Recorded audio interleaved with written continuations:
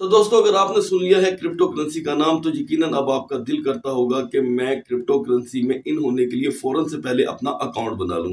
Account बनाने का जहाँ पर आपके जेन में इरादा आता है तो आपको एक अदद वॉलेट की ज़रूरत पड़ती है और बिलाशुबा हर जगह एक ही वॉलेट का ज़िक्र होता है और उसका नाम है बाइनास बाइनास में इन होने के लिए आपको एक अदद अपने शनाख्ती कार्ड की ज़रूरत होती है, नहीं तो लाइसेंस लाइसेंस भी नहीं तो पासपोर्ट और अगर आपके पास ये तीनों चीज़ें मौजूद नहीं है तो मैं आज आपको इस वीडियो में उसका हल बताने वाला हूँ। और ये वीडियो आपके लिए तो होगी ही अहम। उनके लिए भी बहुत ज़्यादा अहम साबित होगी, जिनकी एज 18 साल से कम है और वो बहुत शार्प माइंड है, काम करना चाहते हैं क्रिप्टो में, लेकिन उनके पास भी आइडेंटिफिकेशन कोई मौजूद नहीं और वो बेफाम को लेकर धक्के खाते हैं, लेकिन कभी भी बाइनास उसको अप्रूव नहीं करता। तो दोस्तों, बिना देर किए बढ़ते हैं हम अपने मौजू की तरफ़, लेकिन उससे पहले मैं आपको बताता चलूँ कि मैं हूँ उस्मान हुसैन और आप देख रहे हैं अलमक्का टेक एंड वीडियो अच्छी लगे लाइक कीजिएगा और एक चीज़ जो आपके लिए बिल्कुल फ्री है और हमारे लिए उतनी ही अहम है, वो है सब्सक्रिप्शन हमारे चैनल को सब्सक्राइब कर लीजिएगा और इस वीडियो को अपने इर्द गिर्द उन दोस्तों से ज़रूर शेयर कर लीजिएगा जो इन होना चाहते हैं क्रिप्टो करेंसी में, लेकिन उनको अकाउंट भी बनाना नहीं आता।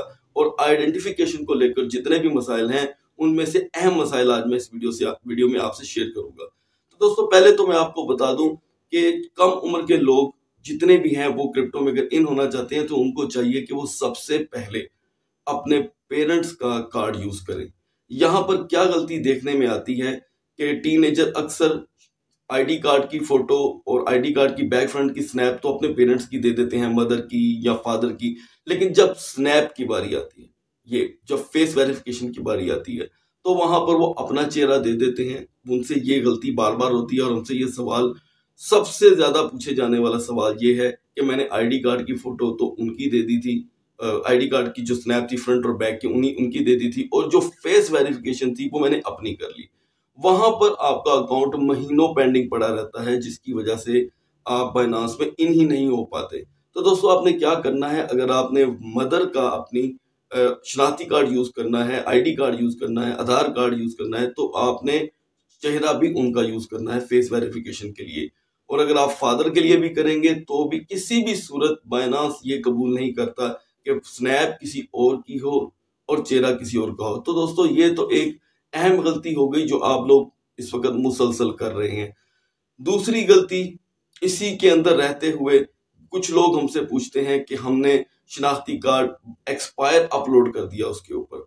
तो दोस्तों, जैसे ही अगर आप शनाख्ती कार्ड एक्सपायर भी अपलोड करेंगे, अपने मदर का या फादर का डेट उनकी गुजर चुकी होगी तो उसे भी बायनास हमेशा रिजेक्ट कर देगा। कोशिश करें बायनास में आईडी कार्ड चाहे मदर का अपलोड करें, चाहे फादर का, लेकिन वो बिल्कुल और बिल्कुल नई डेटों में हो फ्रेश डेटों में हो, या कम अज कम उसका एक महीना बाकी हो एक्सपायर होने का।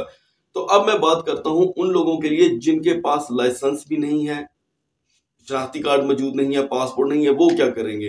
तो दोस्तों, अगर लेट सपोज़ आप उस इस सूरत हाल में बाइनास में इन होना चाहते हैं तो इसका बेहतरीन हल है कि आप भी अपने पेरेंट्स का ही आईडी कार्ड इसमें अपलोड कर दें, ठीक है? और अगर आपके किसी वे भी ऐसे शख्स के पेरेंट्स मौजूद नहीं है, दुनिया में हयात नहीं है, ऐसा हो भी जाता है तो आप अपने किसी भी दोस्त की वेरिफिकेशन करके जो कि वो बाइनास का अकाउंट ना यूज़ कर रहा हो जेन में रखिएगा कि आप अपने एक आईडी कार्ड पे दो बाइनास के अकाउंट नहीं बना सकते इवन कि आपका पहला भी बैन हो जाएगा या सस्पेंड हो जाएगा।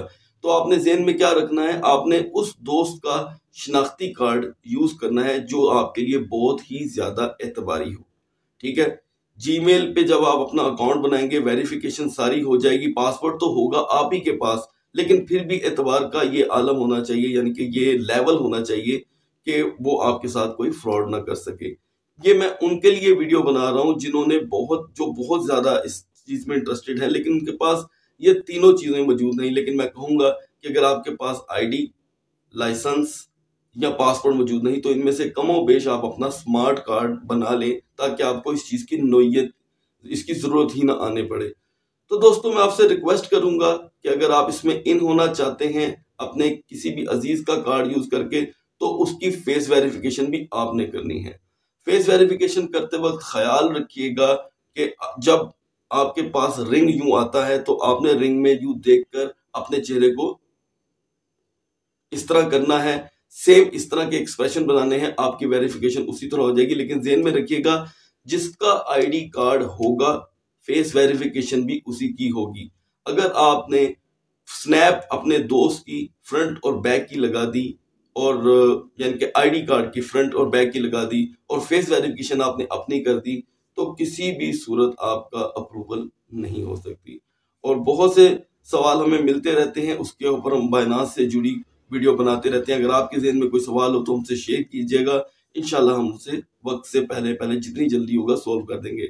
इजाज़त चाहता हूँ, अपना बहुत सा ख्याल रखिएगा। वीडियो को शेयर करना मत भूलिएगा। अगली वीडियो तक अल्लाह हाफिज।